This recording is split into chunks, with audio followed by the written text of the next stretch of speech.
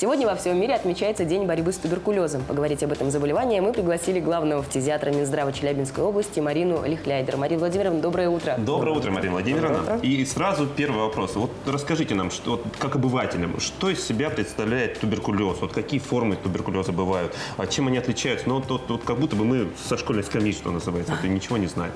Ну, туберкулез – это вообще инфекционное заболевание.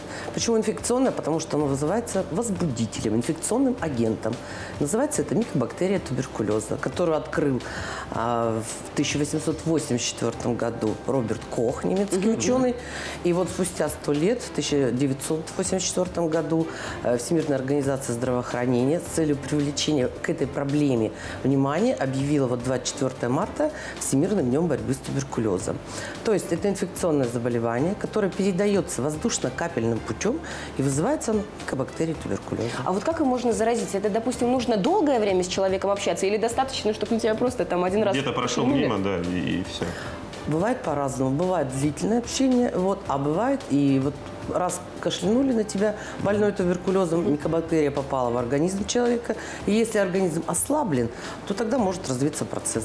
То есть А вот- тут никто не застрахован. Абсолютно. Да, и по срокам тоже нельзя сказать. А вот чем опасен все-таки туберкулез для человека? Вот Во-первых, он хочется- опасен тем, что он не сразу проявляется. До момента клинических проявлений, когда человек уже там будет кашлять или, не дай бог, там кровохарканье будет, может пройти до полугода. Ой.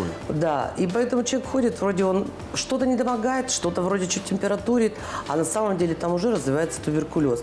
И в 80% случаев это туберкулез все-таки органов дыхания, туберкулез легких. Потому что мы дышим же легкими, значит, микобактерию вдохнули, она там осела. Если защитные силы слабы, то микобактерия начинает со страшной силой размножаться.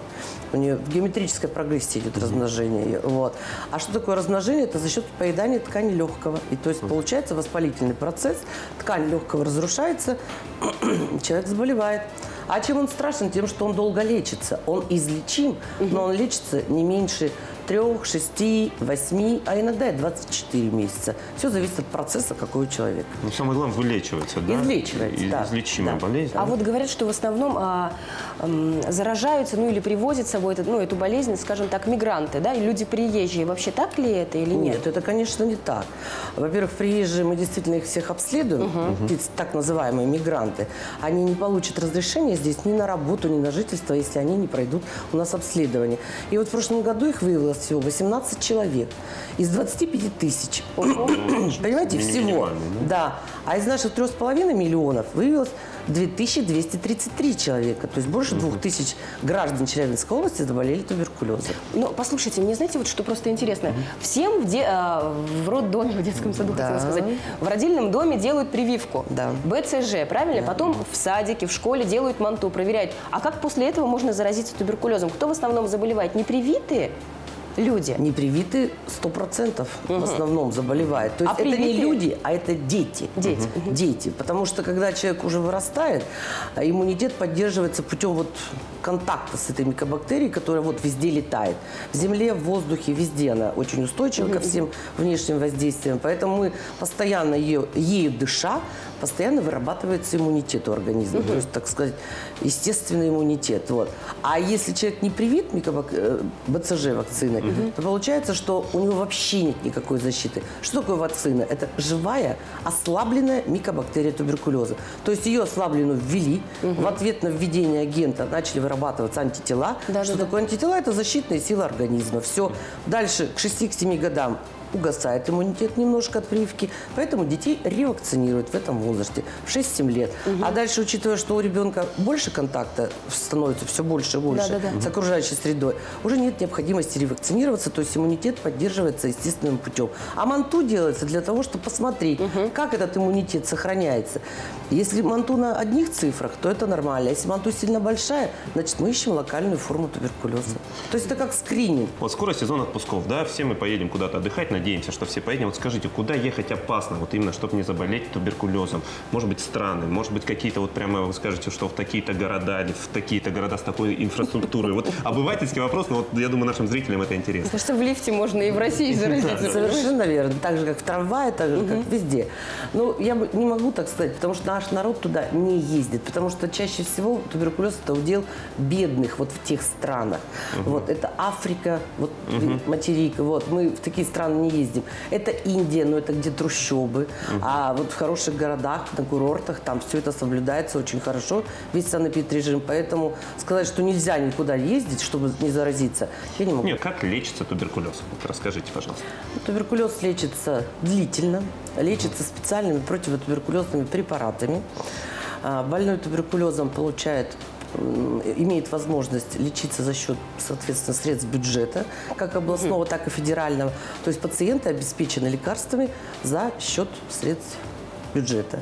Вот. И лечение, самое главное, проходит в стационаре. И проходит оно, вот я уже сказала, от трех и выше месяцев. Пока он не прекратит выделять микобактерии во внешнюю среду. Как только мы добились, что пациент прекратил выделять, но процесс еще до конца не зажил, он может пойти на амбулаторный этап лечения, на стационар на дому, на стационар дневной. То есть вот такое, чтобы пациенту не лежать длительное время. А как ведется вот профилактика туберкулеза? Профилактики же несколько есть видов. То есть, прежде всего, это специфическая профилактика, вот тоже вакцина БЦЖ, вакцинация, все. А дальше идет профилактика.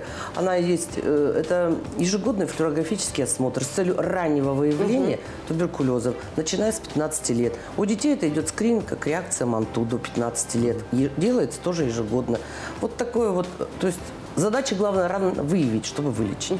А вот скажите, пожалуйста, мы уже говорили в нашей передаче о том, что 26 марта на Кировке пройдет э, замечательная акция, она называется Просветись. «Просветись», да, во время которой каждый житель Челябинска, каждый гость города может сделать флюорографию, получить тут же результат. Да? Расскажите немного поподробнее, для чего, что там будет, э, вообще, для чего это все было придумано и как?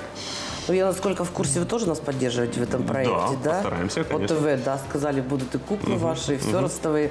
Но вообще это уже, по-моему, десятый год мы это делаем. Как-то сначала спонтанно родилось, что вот как привлечь, опять же, внимание к акции, потом подключились известные все люди. Одно время делали известные артисты эти снимки, все. И вот у нас уже традиционно мы ставим туда два флюорографа. А, залог, что такое не заболеть? Это хорошо кушать. Мы привозим полевую кухню, туда, где тушенка, нет, каша гречневая, тушенка. Солдатская каша, так Солдатская каша, да, вот. Где чай ромашковый мы э, поем, потому что ромашка – это символ борьбы с туберкулезом. У нас много участия принимает. Вот аптеки выделяют, допустим, ча- ромашковый чай. Мы садим ромашки, там вот семена некоторые магазины выделяют. То есть э, ведущий, музыка. Общегородская акция уже, да? Общегородская акция, да. И она настолько популярна, знаете, мы с 10 начинаем работать, уже с 9 стоят очереди, ждут, когда же флюорограф начнет работать. А вот я, знаете, что хотела узнать? С каждым годом желающих просветиться, скажем так, их становится все больше? Да, потому что мы начинали с одного флюорографа, потом поняли, что он не справляется. Сейчас уже ставим два На флюорографа. следующий год три. Ну и вот они все время полные, просто полные, просто все время очередь. А вот если говорить о профилактике, вот, э, вот на таких акциях есть случаи, когда вы что-то выявляете? Да, есть. И что самое это главное, мы почему и призываем народ, что надо раз в год проходить флюорографию. Он же просто так идет, он идет не потому, что он заболел или какие-то жалобы у него, а вот он захотел в воскресенье, в выходной день пройти флюорографию. И там мы выявляем и туберкулез, и онкологию, и пневмонии. Понимаете, аж вот Спасибо вам большое за то, что вы к нам пришли и поделились этой, на мой взгляд, э, очень полезной, нужной и бесценной информацией. Большое спасибо вам, Марина Владимировна. Ну, а я напомню, что в гостях у программы «Наше утро» была Марина Лихлядер, главный фтизиатр Минздрава Челябинской области. Ну а прямо сейчас пришло время новостей. Спонсор выпуска – магазин обуви «Белвест». Еженедельно выгодно